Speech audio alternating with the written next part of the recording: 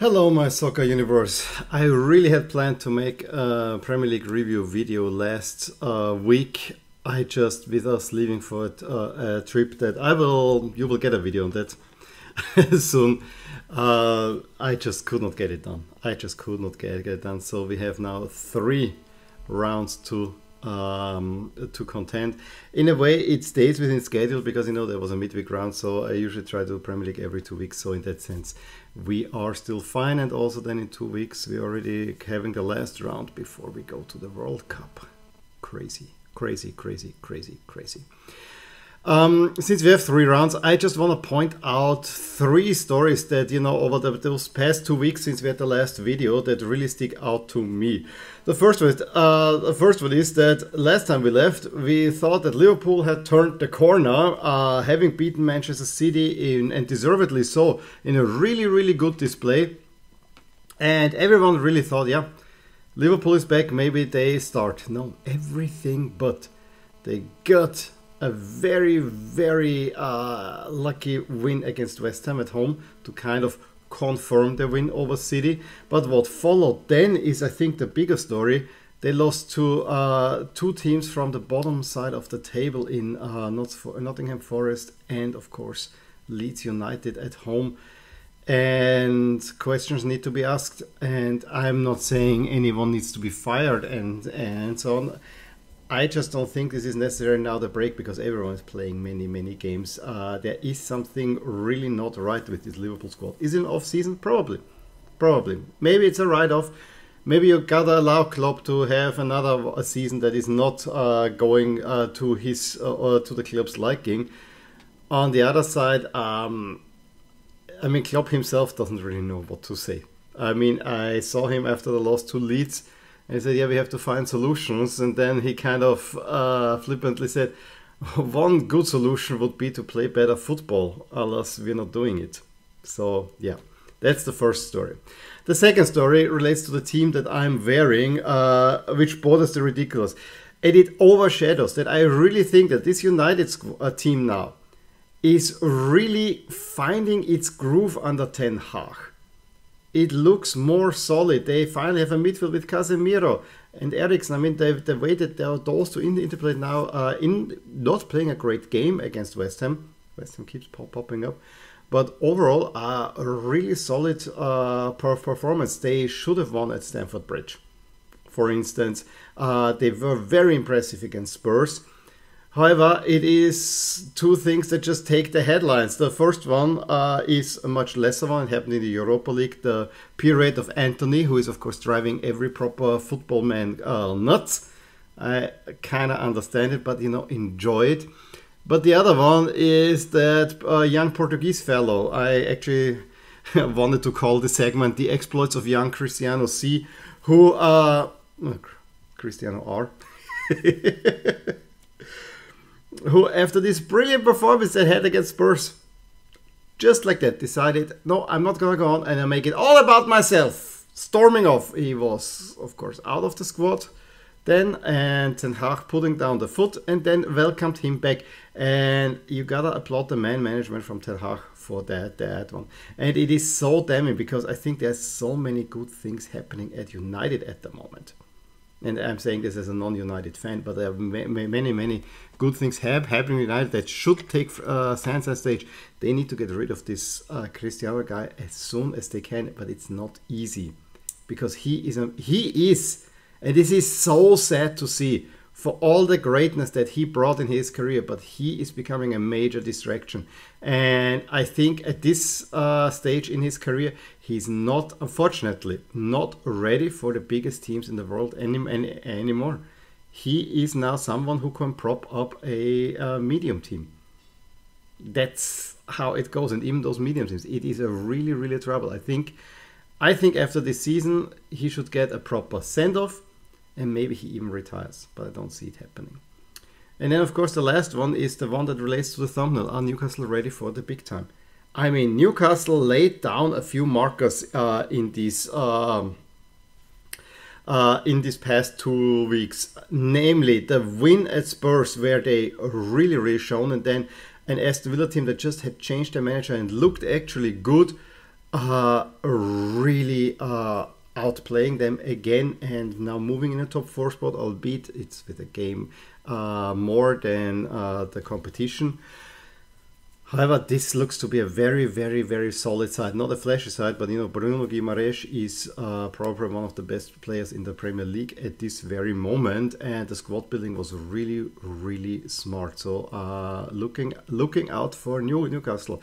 They, I'm not 100% that they will finish top four, although with um, some weaknesses showing at the likes of Liverpool, Spurs, Chelsea it could happen if they all three really fall by the wayside in, in, in a way.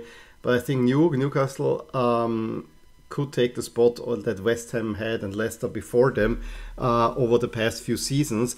On the other side, it doesn't really come as a surprise because, you know, with all the money that's backing them, it was bound to happen and it will happen. It just is more uh, when than an if. So, uh, briefly, a few. I mean, I said a few things on on the games. Here's the midweek round from you know mid to mid October. It's it, it uh, time flies so fast with so many games. Um, as I said, the Liverpool West Ham game was the one that really stuck out to me because Liverpool took an early lead through Nunez, looked uh, really really well uh, on, missed a few more chances, but then West Ham got back into the game. They had the big chance to equalize with a penalty. Uh, the Bowens he saved. And then in the second half, I mean, Alisson had to come up with big saves. And uh, yeah, you, again, this was still the time when we thought that Liverpool might actually turn a corner. Uh, at the same time, Newcastle get uh, a win through Almiron against Everton. Nothing really to talk home about at this, at this point. However, the big one was uh, Manchester United's really great performance against Spurs. Uh, completely outplaying them left and right. And yes, uh, Spurs definitely was hampered by those ugly ugly jerseys that they were wearing for no reason. For no reason. I, I, I contend there's really no reason that they should wear these uh, jerseys. However, whatever that may be, as I said, uh, Fred and Fernandes get the two goals. Um, and it could have been more. This was a very complete performance. And then uh, Cristiano decides, yeah, he doesn't want to come on in the 91st minute. So, yeah, there you go. Uh, Fulham with 3 0 over Aston Villa uh, seized and finally the sack for um, uh, Steven Gerrard. Uh, and Leicester is also a team that we uh, I have not mentioned, but you know, getting a 2 0 over, over Leeds, getting a little bit out of trouble. The big bummer was that we didn't get uh, to see Arsenal against Manchester City. that would be a one game that I, I at least was really looking forward to. Then going into the weekend, I mean, I did not plan on anything Forest Liverpool or, or, or, whatever. I was taking my post lunch nap and then I wake up to the news that Forest had beaten Liverpool. And yes, maybe it was a teeny bit of a fluky win because if you make your chances in the first half, uh, you get it. But then Awoniyi gets the uh, go ahead goal and uh, everyone says, yeah, he's a former Liverpool, but he never played for, for, for, for, Liverpool. So I'm not sure how much I should count on that. They had an actually another chance as well, but a much, much needed a big win for Nottingham Forest, but one that clearly sent Liverpool into a tailspin. Another team that has not been too bad, Everton, a 3 0 over Crystal Palace. Uh, also a bit of a surprising result there. City, um, largely outplay Brighton. Brighton, who have not really won at that point under De Zerbi, uh, with Haaland getting the first two goals. Although I have, have to say the first goal, how that was not allowed to uh, uh, was allowed to stand. I don't get because for me this is a clear shove from Haaland. Uh, and then you know the penalty that's given is basically the same shove, and he gets a penalty. Very unlucky refereeing. However, Trossard brings Brighton uh, back at, at, at the beginning of the second half and there was a time where you could see maybe, maybe, just maybe, it might work out. And then De Bruyne with a brilliant shot makes it 3 1. City go through. Um, again, good things from, from United at Chelsea. Largely outplaying Chelsea. Chelsea really are str- struggling. Potter having to make a few changes to kind of get the game a little bit even to the second half. But then Ten Hag again ramps up the pressure. But when everyone thought that this uh, game is gonna end up in a nil-nil. The most stupidest of penalties. I mean, the way McTominay basically he wrestles uh, uh, down uh, Broja, Broja. Of course, it's a penalty, and Jorginho uh, makes it 1 0. And at that point, I think everyone kind of thought it was not deserved, but Chelsea will get that win. No, they don't. Because as good as uh, Kepa has been over the past few, few, few, few weeks, he could not even save that corner by Casemiro.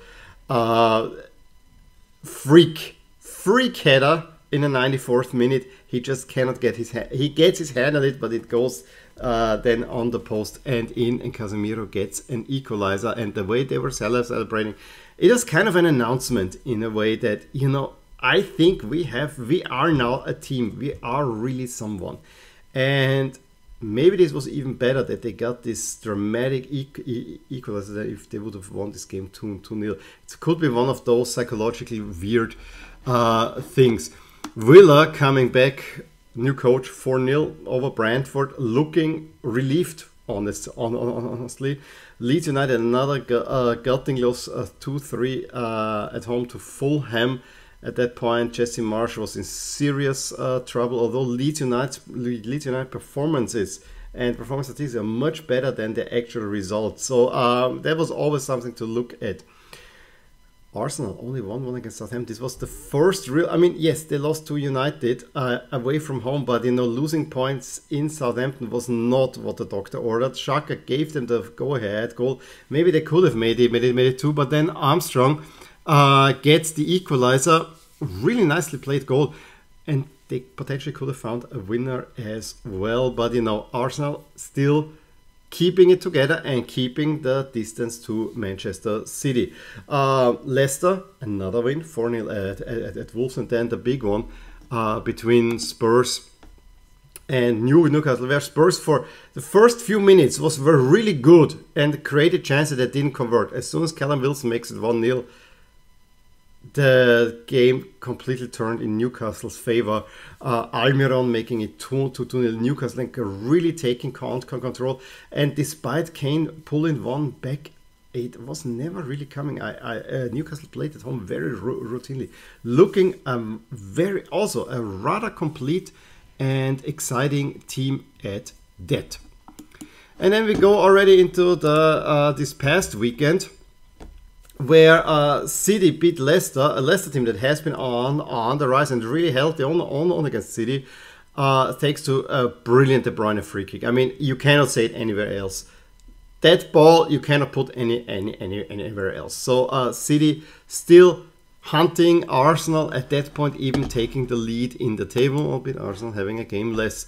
Spurs, uh, anemic performance in the Champions League, you know, also not so good over the past first week, and they found themselves down 2 0 uh, at the Cherries. However, they find a way back. Sessegnon, Davies, and then deep in stoppage time, Bentancur. Turn it around. Conte, of course, uh, always on the edge in a way. I honestly have to say maybe this could be a performance that gets them in, but Spurs need to take a good hard look at themselves because it looks very Mourinho-esque for them. Uh, that the Conte magic is not working as it actually should or as um, uh, people would probably expect. The game that probably most uh, we're looking forward to is, of course, uh, Potter's return with Chelsea to Brighton, uh, with uh, Brighton under De Zerbi having no win so far and Chelsea having no loss. Well, I guess Potter was planning still for Brighton because the way Chelsea held Brighton. Yes, Trossard gave, gave, gives them the first goal, but then it was really well played. But then two, it's two own goals that give uh, Brighton a 3 0 lead. And Chelsea not looking great in any, any way. They get one back through Havertz, but then uh, in the stoppage time, it never looked, look at this, the comeback is really on. Uh, and Pascal Gross then stumbles one across the line uh, in stoppage time to make it a 4 1 win. Their first one win since Potter left, and uh, Chelsea get their first loss. It's one of those weird things. I don't even want to call a perfect revenge, but you know, everyone was uh, at Brighton was, of course, giddy because you know, he turned on us. No, he did very well for you, and he, he needed a, a bigger job. Again, Newcastle it's a, a Callum Wilson penalty that sets them off. Um, that was deep into stoppage time for first half, but then they make it a proper storyline with Wilson, Joelinton, and again Almiron scoring uh, four against Aston Villa. And this was an Aston Villa team that was actually quite good last uh, on the weekend before. So interesting stuff for sure. We gotta talk Liverpool against Leeds, namely the first goal. What what is Gomez doing? He playing the ball back and without even looking where Alles is, it goes past Alisson and Rodrigo can tap it in. Then Liverpool get the equalizer. And I have to say, for most of the game, then Liverpool had more of the game and created chances. However, there was nothing where I, I say this wasn't like must score, but you know there were chances there. It it seemed like it's a matter of time until Liverpool score, but as it always goes, if you don't score, you may end up conceding. That's exactly what happened. 89th minute, it was totally against the run of play. Yes, Bamford had a pretty good good, good chance before they dedicated completely squandered, and, and I think Leeds played overall very very intelligently in this game. But it did not look like they're gonna win this one. On the other side, I mean, Liverpool, they just thought they kind of escorted the player to the goal line, and Summerville had it was almost easy to score this winner. Uh, mad scenes, and yes, as I said, uh, Klopp not knowing what really to say after that one, and I think Liverpool is very much soul searching. Uh, uh, therefore, on the other side, I don't necessarily want to be the next team that plays Liverpool as well. Arsenal take an early lead again through Martinez. and you really thought that um, Forest might get something. However, in the second half, they turned on. Reiss Nelson, two goals in within three minutes. Then Thomas Partey with a great shot makes it 4 0 57. That was the game. Then Ødegaard makes it 5. And yeah, Nottingham is probably going down. And then I already mentioned it. Um, really nice Rashford goal give uh, uh, United a win over West Ham. They were better in the first and second half again. West West Ham um, failing to score. However, United also looking overall, to be honest, also quite comfortable. So, so many games that we will talk. So the current standings are now still Arsenal up top, uh, City and Spurs. However, I think we should probably more look at the adjusted standings because it's a rather uneven table. Um, because we had Newcastle in the in the top four, but you know uh, United have the game in hand, which actually might push them, or, or if they should win that, they would uh, push above Newcastle. But still, Newcastle very much on the up. Liverpool only mid-table at this moment. Uh, Chelsea Brighton back uh, again with a game in here. Fulham also really high up up it's really really interesting. For me, the most interesting is that Spurs have not looked good, but they're still in third place. They had a really good start, but now it's coming a little bit, bit, a bit apart. Maybe it's just a blip that sometimes happen that Arsenal and City at this moment are not having. On the bottom, a huge boost for Leeds. Uh, Leicester slowly moving out as we will see in the expect saying they're not. I don't think they will be rele relegation fodder. However, it looks really, really dire for Wolves and Forest. And yeah, Southampton mm, could get implicated as well.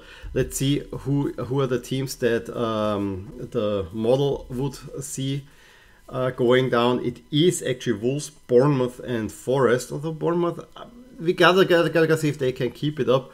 Uh, but Southampton dangerously down there, and Leeds with that big win moving up. Um, up top, we have now Arsenal ahead of Liverpool. Finally, I am tempted to say, uh, with Spurs still in this fourth spot. You see Newcastle in seventh. I think these top seven could look, but we have to see. The season is still very, very, very long. We have uh, only uh, about a third of the season is played, so you know there's loads to go for. I give you the uh, matches for the next two weeks. We have, of course, Spurs against Liverpool. Uh, that's the big name match for the next week. Both need a win.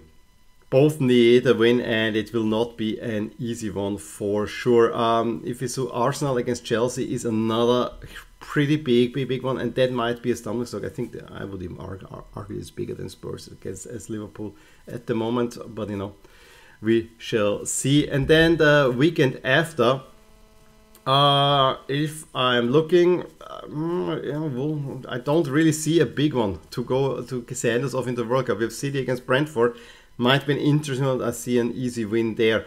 Uh, don't even talk about Liverpool, Southampton. Uh, Spurs against Leeds, maybe. Um, we have Newcastle against Chelsea. That's probably the one to pick out from this uh, bunch. Uh, Wolves, Arsenal should be foregone conclusion, I have to say. And I also think that uh, despite Fulham being good confirmed that United should actually win that one. So yeah, that was it. Three runs from the Premier League in roughly 20, 20 minutes. Please Let, let me know anything that I missed or that you would like to add in the comments below. Give me a thumbs up if you enjoyed this video, subscribe to my channel if you want to see more videos like these, and I will talk to you soon. Bye!